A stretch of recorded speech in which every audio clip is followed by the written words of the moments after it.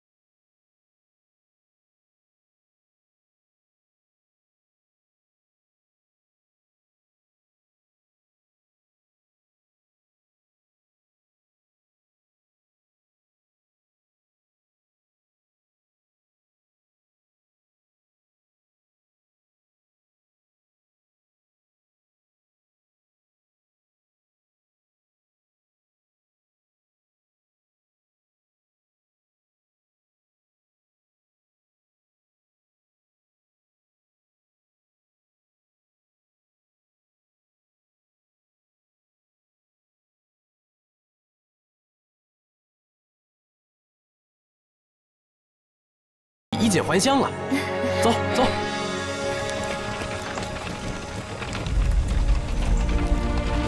衣服是换了，可这速度也太慢了吧？反正也赶不上了，长安越来越近。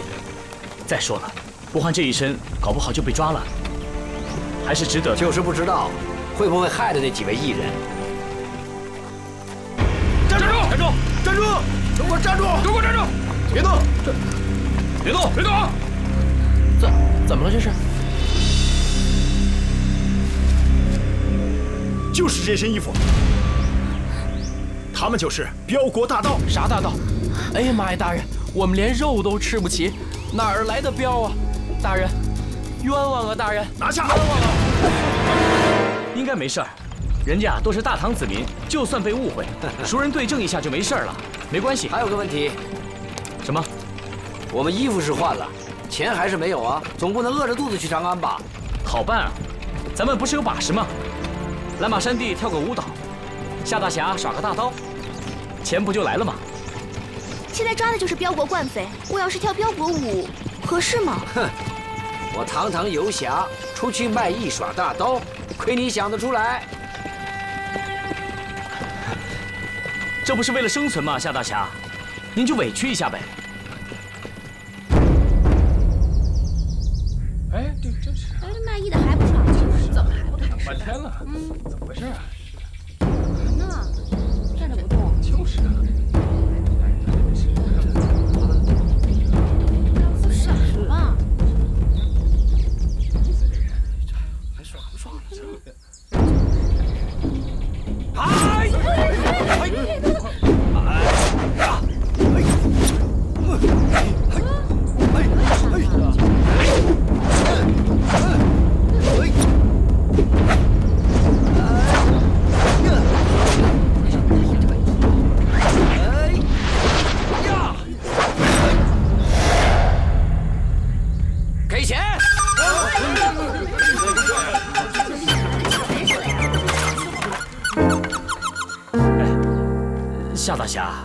这是干嘛呢？卖艺。啊行了吧？就刚才您那几下，那基本上就是明抢啊！您好歹得提前说点什么吧？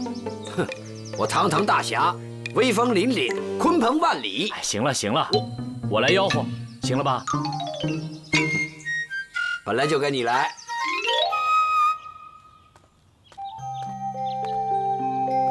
苏公子，您的意思我已经跟上面转达了。结果呢？原本要提前献月是没有问题的，可是现在突然出了点状况。啊，什么意思？我大唐的舞姬正在东都洛阳演武，陛下的意思是想等我国舞姬返回长安，与标国舞姬同殿献月，共襄盛世。哦，那就是说，陛下已经同意了。是。那贵国舞姬什么时候能回长安？这个还不知道。如果他不回来，我们就不能献乐了。那就请苏公子跟乐团乐师一起在长安多玩几天。好，我明白了。那多谢邢姑娘。您客气。少主，要不我们再上书恳请，早日献乐。不要太主动，太主动别人会起怀疑。我出去一趟，见大唐那位林那位盟友。嗯，我没说过那个人的名字。我去去就回。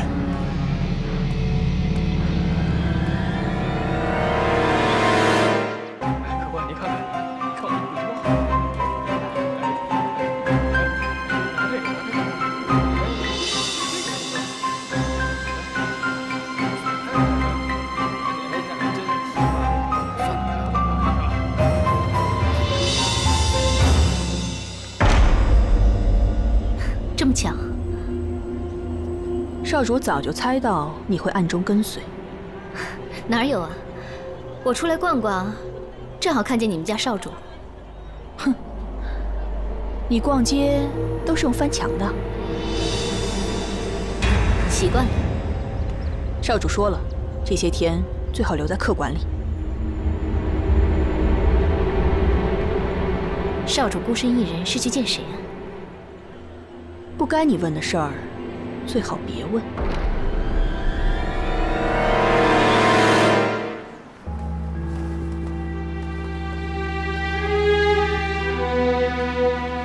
你是来找我？你怎么知道我离开客馆？你到长安之后，我一直在观察你。你知道我要什么？时不我待，我必须尽快签约。我们内卫。可没有办法控制陛下的旨意，非要等大唐武姬从外面回来吗？他们不回来就不能献乐了吗？你呀，要学会等待。等待。舒南陀随时随地都可能到长安，怎么？你怕他？我怕什么？只不过，那位的关灵儿他认识，如果他们见面了，我的计划就完了。他见不到关灵儿了。你对他下手了？安心等待献武之日，没急事儿，别来找我。你把灵儿怎么了？有没有舒南陀的消息？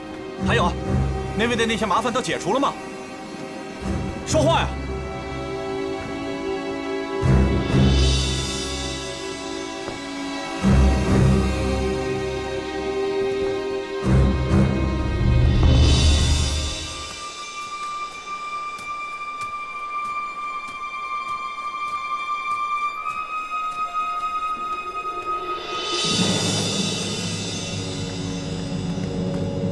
长安了，也不知道苏决的阴谋怎么样了。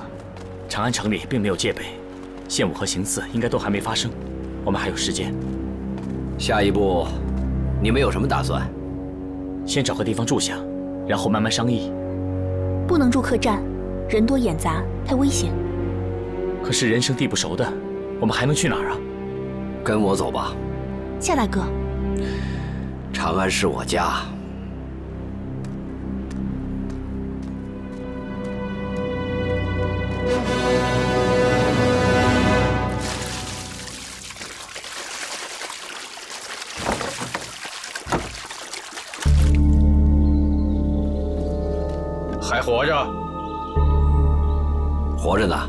决定回来了。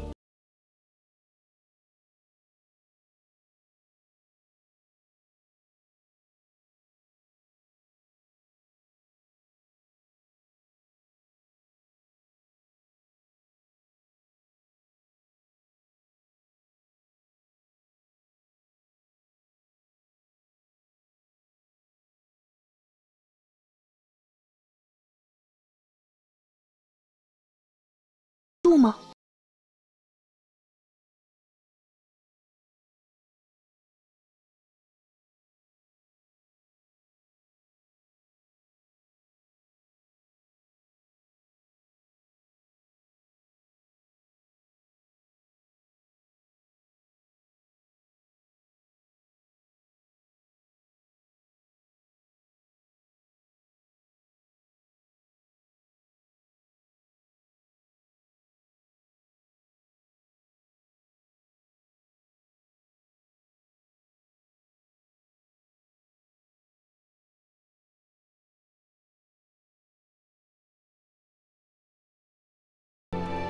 我的你不是说当年家产不是全部被大火烧毁了吗？是，这是我亡妻娘家的房子，娶她之后就一直荒废，很少有人知道这儿，还算安全。那刚才那个人是谁啊？当年家破人亡逃离长安，请他来帮我看着房子。那不都是十多年前的事了吗？是啊，十多年了，他连你是死是活都不知道，就一直在这儿替你守着。对，那他现在去哪儿了？回老家，他是宣州人，江南道的。那他家人呢？自然也在宣州。他来这儿只是行商，没打算落脚。结果就因为你的一句话，他十多年都没有回家，就一直留在长安替你守着这院子。是。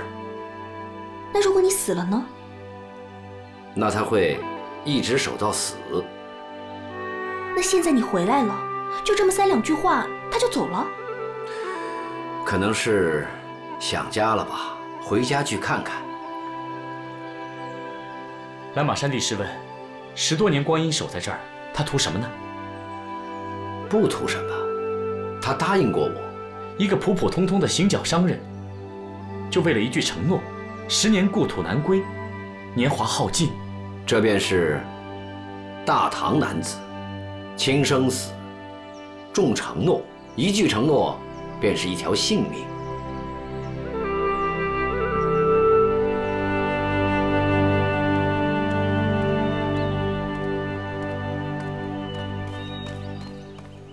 少主，夜沙罗想偷偷跟着你，被我阻拦了。把他看住，恐怕我们要在长安多待些日子。献乐不能尽快吗？不能，大唐皇帝非要等自己的那些武姬回来才能献乐。我是怕舒南陀已经追来了。算算日子，他也应该到长安了。那我们怎么办？这样。你去找红炉客馆那个女官，你告诉她，你发现了从镖国逃出来的惯匪，然后请她让金兆尹派人搜查。长安这么大，怎么找？这个你放心，长安跟我们镖国不同，只要他来了，就一定藏不住。为什么？长安城里只有坊和市，普通的百姓只居住在坊中，而客栈只有在易货行商的市里才有。市很少。长安城中有一百零八座坊，却只有两座市。天下闻名的东市和西市，只要舒南陀他们来了，就一定会住在东西市的客栈里。只要内卫或京兆尹的人一查，就一定能找到。那我马上去找那个女官。叶沙罗呢？逍遥看着呢，我们俩会轮流守着她。好，那你去吧。是。幸好夏大侠在长安有这么个住处。是啊，不然住客栈很容易就被找出来。住下这只是第一步，回到乐团才是你们的难题。接下来就看你们自己了。这是我最后一次帮你们。夏大哥，从今天起，我们便分道扬镳。你要去哪儿？我要杀的是大唐皇帝，你们呢就不要参与进来了。你要杀谁，我管不着。可是你一定要告诉我为什么。夏大侠，这一路走来，你没把我当成朋友吗？贞元四年，长安城发生过一件大事。贞元四年，十多年了。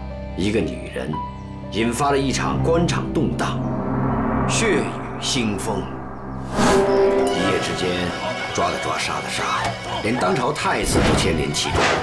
为了那个女人，许多高官惶惶不可终日。那场风波，许久才平息下去。闹出那么大的事儿，难道她是皇室中人？是哪位公主？长公主，肃宗之女，唐朝皇帝李阔的亲生姑姑，郜国公主。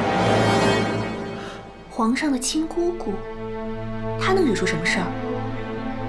郜国公主先后嫁了两位驸马，都早早过世了。结果她不甘寂寞，秽乱宫廷，先后和当时的彭州司马李万、太子詹事李生等人私通。除此之外，他还联络各处官员人等，有暗中夺权之意。结果事发了。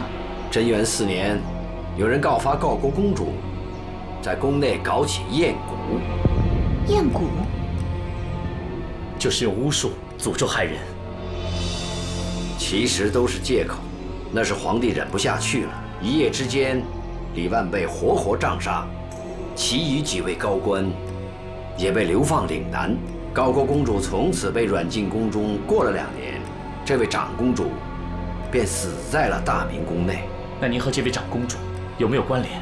并无关联。那以后呢？结果，唐皇李阔暗中派出人马诛杀郜国公主羽翼，而我明明与此事无关，却还是被抄家灭族。我也被追杀千里，最后带着亡妻的骨骸逃去彪国。李阔灭我家门之仇，本来这一辈子没机会再报了。是你让我找到了复仇的希望。你让我保护乐团前往长安，当时我就明白，复仇的机会到了。所以，你要随着乐团去献乐，混进大明宫，行刺皇帝。一开始是这么想的，现在呢？毕竟一路患难与共，我若借乐团之名行刺，定会连累彪国。那你今后怎么打算？再想办法。既然到了长安，总会有机会的。这些事儿与你们无关，从今天往后就别再见面了。那灵儿呢？她可是你亲生女儿，你就不闻不问吗？我要杀唐皇，就不能让人知道灵儿和我有关系。苏爵在内卫有帮手，你就不担心？灵儿的安危吗？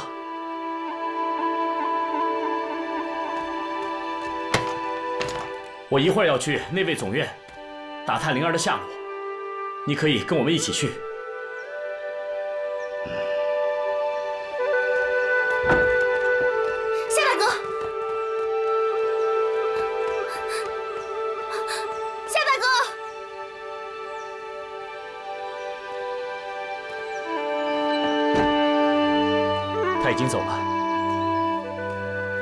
这么走了。他是怕刺杀大唐皇帝会连累我们。可那是大唐皇帝，他就这么孤身一人去刺杀，他根本就是在送死。你以为他不明白吗？可是有些事儿，明知道要死，但是也得去做。你也支持他刺杀大唐皇帝吗？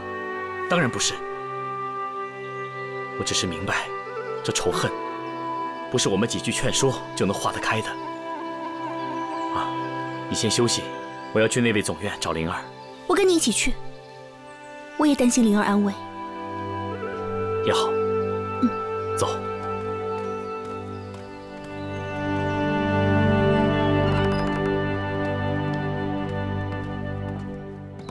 少主，哟，邢姑娘来了。苏公子好。哎，干嘛那么客气呢？来，快请坐。不必了，照您所说，京兆尹已经搜查全城所有的客栈了。有消息吗？并无发现可疑人士。哦，是吗？不过，京兆尹已经开始搜查全城了。啊，那就多谢邢姑娘了。不敢。那我先告退了。好，请。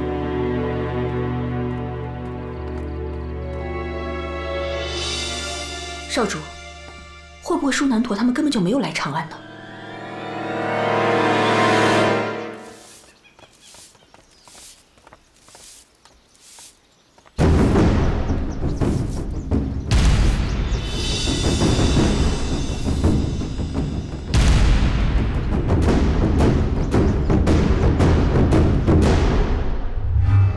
少主，其实就算是舒南陀来到长安，你也不必担心。我不是担心他，我只是忧虑献月之事。如果再这么拖下去，恐怕要生事端。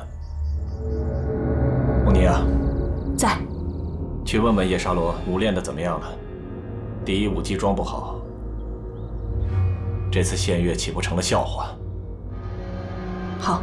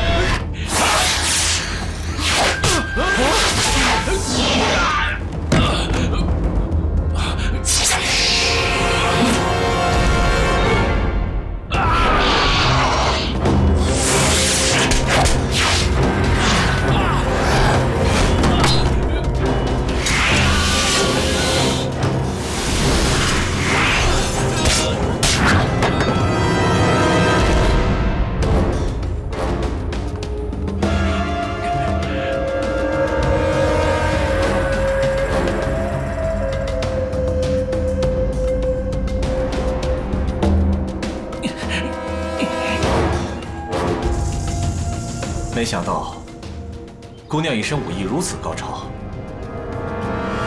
看来这大唐果然人杰地灵，随便一个姑娘都这么厉害。苏公子，鸿胪客馆事关各国使节安危，高手众多，我只是最末等那一流。那还救了我一命。照你这么说，我岂不是不入流了？啊，不敢不敢。哎，对了，姑娘为什么去而复返呢？路上偶遇此人，觉得面生，有些担心，才折回来。还好公子没事，我现在就带他去大理寺审问。大理寺就不用去了，这个人我认识，交给我处理就好了。您自己可以吗？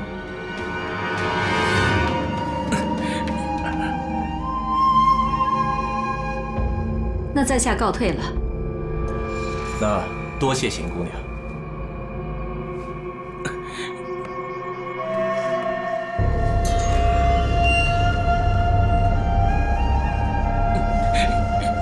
你怎么跟来长安了？为大将军报仇。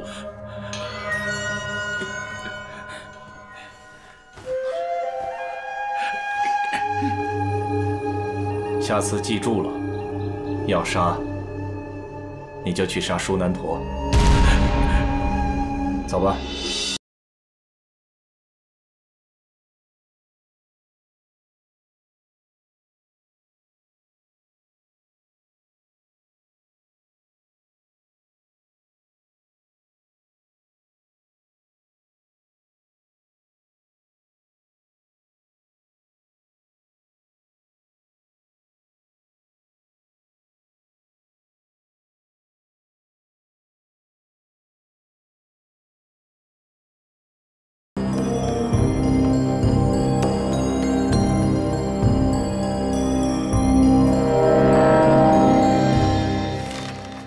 把头抬起来！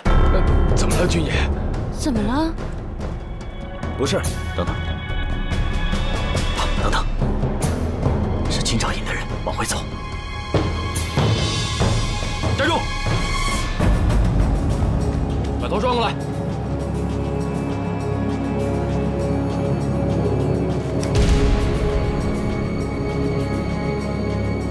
你们是从彪国来的吧？不是，从衣服看不对吧？应该不是他们，看他们的打扮都不像。走吧，先抓起来。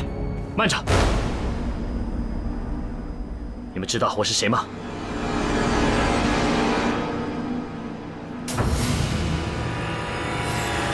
大唐内卫，您是内卫大人。嘘，秘密行动，不要声张。是。以后抓人注意点，乱抓人，胡闹。你看我脸，还看不出我是自己人吗？是，大人长得就是那位的脸。那好，以后做事小心点。是，去吧，走。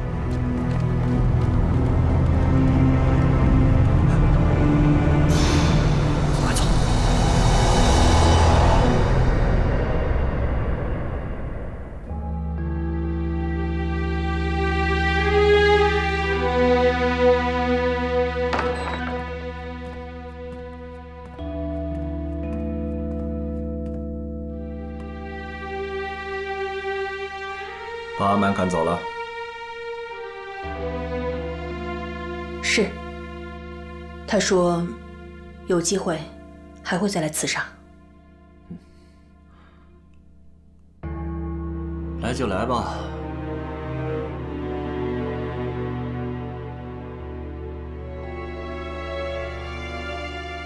你怎么了？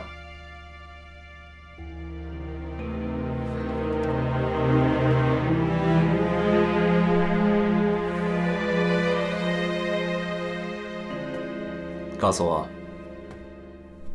谁欺负你了？少主，刚才真的吓到了，我以为我救不到您了，一想到您差点在我面前被害，我……好，没事儿，我没那么容易死。少主，我发誓。只要我还活着，我就一定不会让任何人伤害你。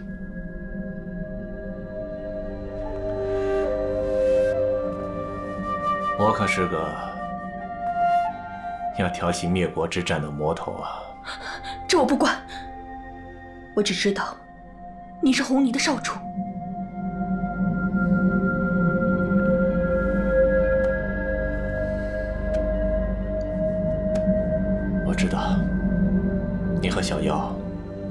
是我最值得信赖的人。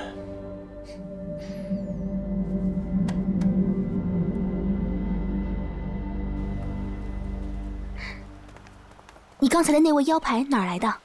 哦，莲儿离开前给我的，让我拿着这个到内卫总院找他。你知道内卫总院在哪儿？到了。这就是大唐内卫总院，连块牌匾都没有。内卫嘛，越低调越好。你是怎么知道的？也是灵儿告诉你的。嗯，这样，你去那边等我，我过去拍门。为什么？会有危险吗？小心起见，如果出了什么事儿，你立刻就跑。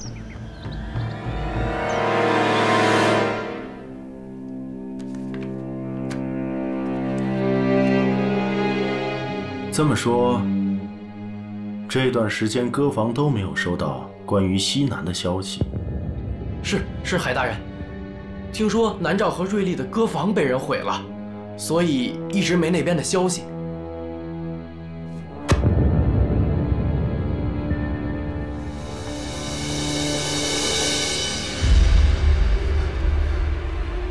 你慌什么？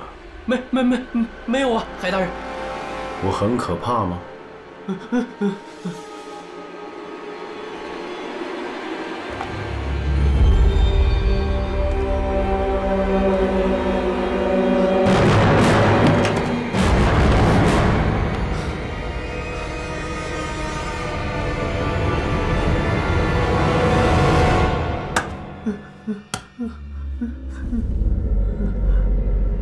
知道害怕是好事儿。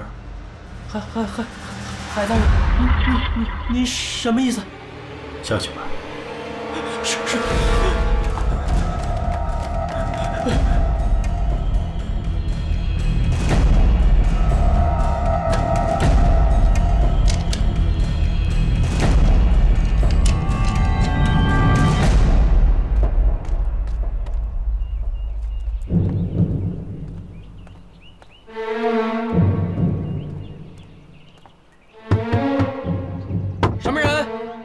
那位左司关灵儿。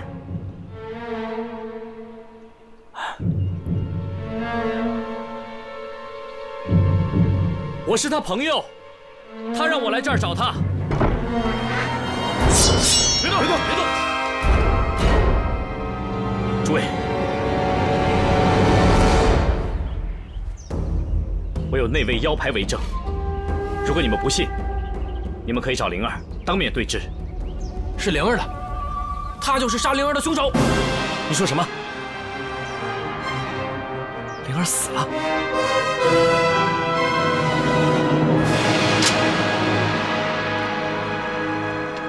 海大人，海大人，我让你进来了吗？门口有个拿关灵儿腰牌的人出现了。这里面肯定有什么误会。灵儿是我朋友，她怎么死的？找到尸体了没有？拿下！别动！别动！老实点！别动！在这等着。我说过了，你们误会了，我是他朋友。快走！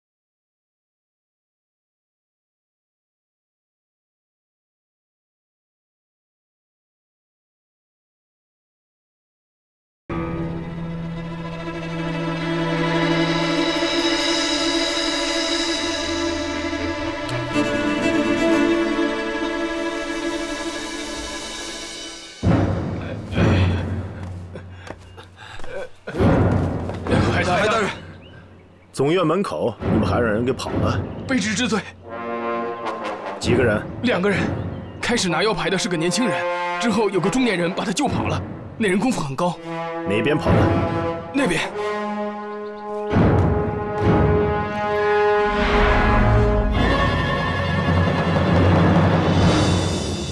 哎，您看看吧。不用了，不用了啊！夏大侠，那位恐怕会追上来的，咱们还在这儿慢慢走。走得慢，这样才能不会被他们发现。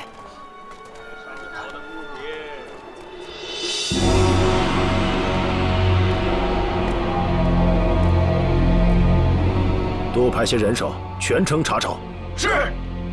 今天的事情，不要让关长岭知道。夏大哥，幸好你及时出现。我只是想确定灵儿安危。他们说灵儿死了。听见了。谢大哥，你没事吧？在没看见他尸体之前，我什么都不信。现在我们要做的，就是尽快知道灵儿到底发生了什么事。那怎么做呢？要不抓个内卫问问？内卫的人都是硬骨头，抓了他们也不会说。那怎么办？长安城有座天府，天府里住着一个人，据说他知道长安城所有发生的秘密。此人名叫宇文忠。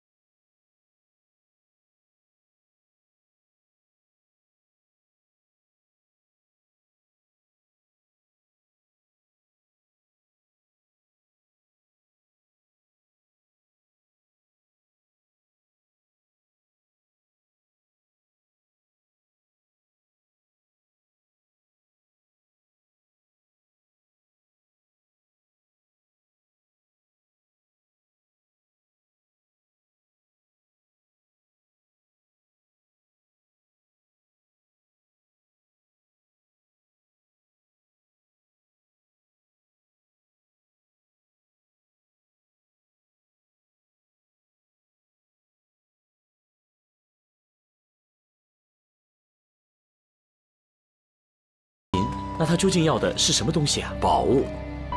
怎么样才是宝物？有传说，有来头。他要的，就是这样的宝物，一件宝物，替你解一次密。哎，那宇文中的天府究竟在什么地方？就是这里，这就是天府。这是天府？天府又称南斗第一星，又名令星，主财帛，又称禄库，乃是财富之基。你们大唐给房子起个名字都这么讲究？待会儿你们进去之后，只能问一个问题：灵儿的下落。您不去吗？我不能进去。为什么？说来话长，赶紧进去吧，尽快问出灵儿的下落。可是，您不是说那个宇文中没有宝物，不肯帮忙吗？我们上哪儿找那个宝物啊？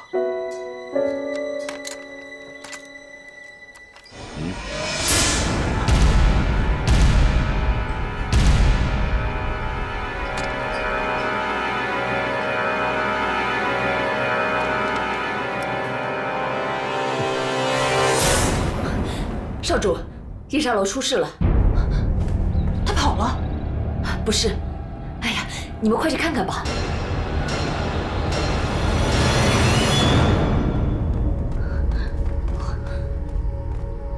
么回事？我也不知道，我看他脸色越来越差，然后就突然倒下去了。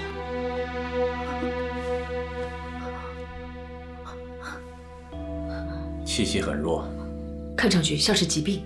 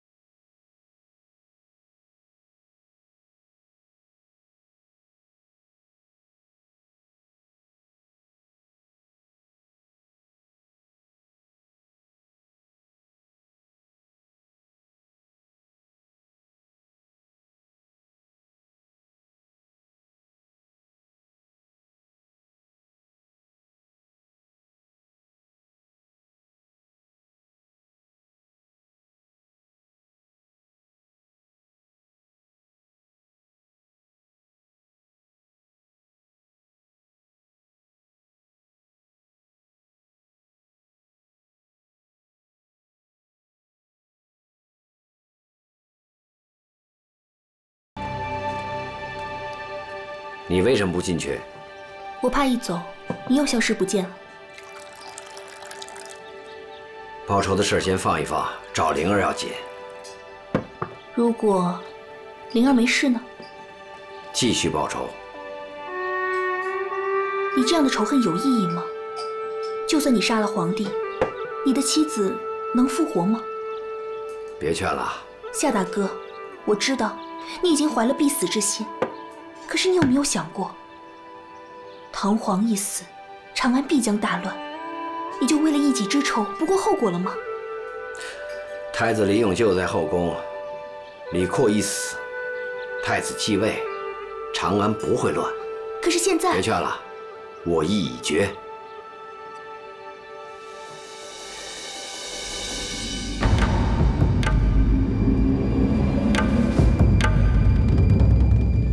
宇文先生，在下有一事相求。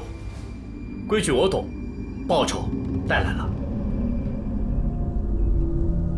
我带来的报酬是这把大夏龙雀。